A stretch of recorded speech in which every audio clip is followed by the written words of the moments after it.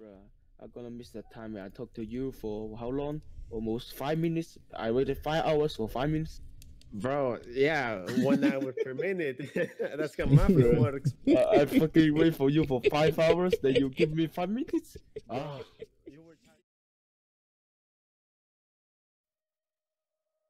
Hey what's up guys, it's me TheKillerey here. Welcome to another video and in this video I would like to show you on how to install custom skins with Fantome. So, let's get started. Okay, so first of all you need to go into the GitHub link. It will be in the description, so check it out. So then you come to this link and you click on this Fantome. There's a size on it. Click on that. Download it I will do it also for you. Okay, not two times, but okay. Um, now open it with 7-zip or WinRAR.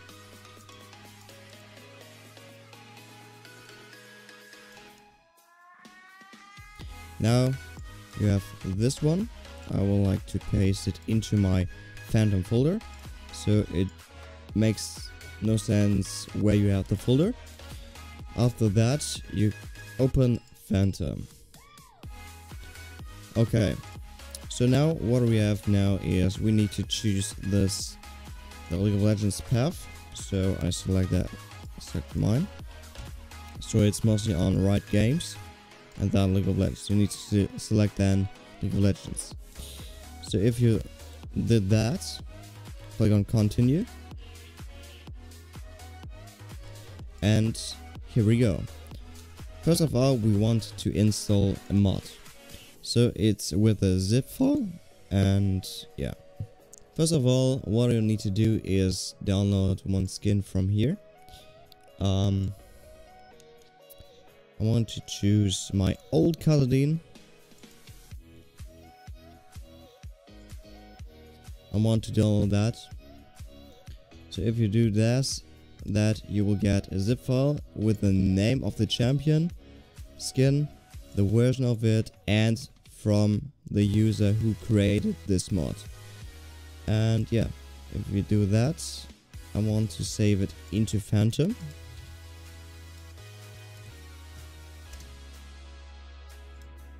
There we go. And then I go into the Fantome 2 folder and click on the zip file.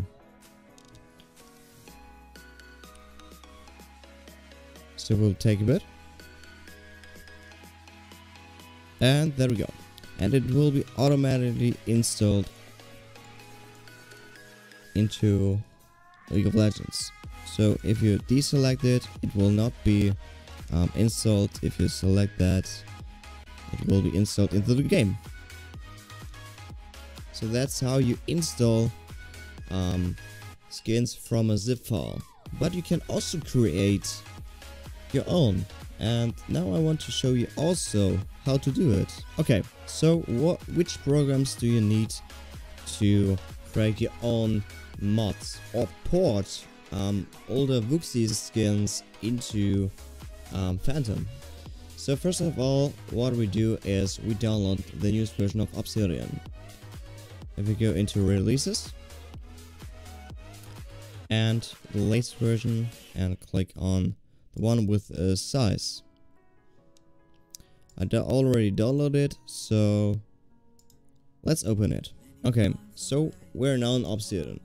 Now we want to port um, older skins in, from the Wooxy formats into Fantome. So you need to download um, lot of custom skin tools for that. And yeah, select that. And here we go. Already downloaded it. So this is my folder in here. That's how it looks like. Okay, not with with the Amumu stuff, but uh, yeah, I I, I will deal with that.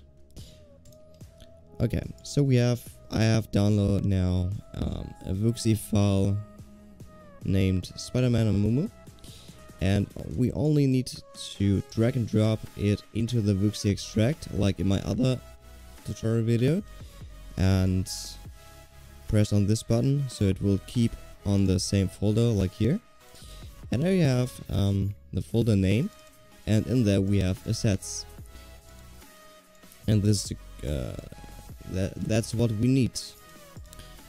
Um, now you go into file click on create from directory. And I select now the path to it so we are on the same. And now you need to select the name of the folder. You can see you have assets in there. You'll need to select this folder one above. Select it and it will automatically create the stuff for you. Once it's done click on file click on save and create. I will create now a new folder. I name it Spider-Man. And I will save the WAD file into this folder.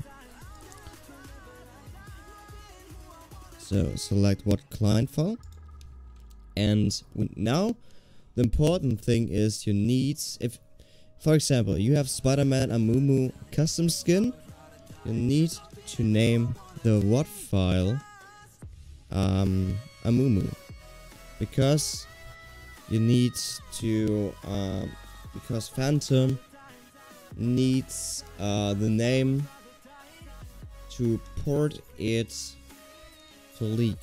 And that's very very important that you need the original names of the files. Click save and writing successful. Close it. And here we go. We have now a client zip. Let's go into fantome. Create this button and click on click on create a mod. Now you select the name. Uh spider-man amumu author is Asiros and I don't know someone. And the important thing now is the most guys will type version 1 but this will crash your fucking game. Uh your your fantome. Um you need a structure like 1.0 you need you need this structure or 0.1 or 1.0.0.0 um it's important that you do not use only one or version 1 um yeah so we choose now and do not choose something like that. Just only one number after the point. Um yeah so 1.0 is the version. And now we can here select the image. If you go into the I would like to select one random stuff. Right now we can only use png files to import uh, maybe it will be changed later. And yes now we need to select the WAD folder. That's what we do now. But I will also show uh, um, explain you what a raw file folder is. Um, it's just you just import into League this raw structure. So you can change it um, every time. So but this structure is completely broken and will maybe crash your program. So the better thing is to use a WAD file. So now we select a WAD folder. Go now to into this path. And now we select the Spider-Man folder. It will also add it will you can edit multiple um, WAD files into it? So if I have a map skin and we need to map 11 data and map 11 levels WAD files um so 3 WADs for only one skin. And that's now how we can do it. So I will have only one WAD so we select that Spider-Man and simply select the folder after that create the stuff and you can see it's now into Fantome. Now we go into the Fantome folder. Um, I want to show you how it works. So if we go into the overlay, the overlay is the stuff where we load um, the skins into League of Legends. Um, yeah, so you can see we have data, final, champions, and you can see we have Kassadin, and I have also in here map 22, I don't know why, but okay, it's crazy, but I don't know.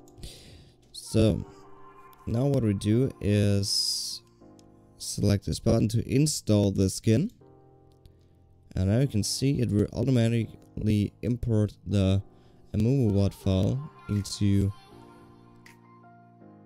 the overlay folder. And that's it. Now we can test it into League of Legends. If we go into play, very custom, I would like to select Amumu 2 and use Kassadin. And let's see it in game. Okay, so we're now in loading screen and you can see it loaded the stuff. And also in-game. And yeah that's it. You can do this all of your mods sounds fonts whatever uh, you want to mod and it's completely very very easy. And yeah so i hope you enjoyed the video. And if you have questions put it in the comments. I will answer all of them. And we see you in the next next video. Bye bye love you all guys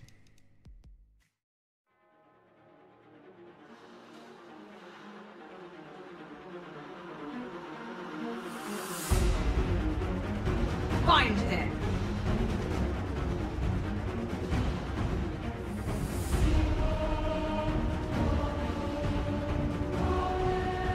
Please, betrayer.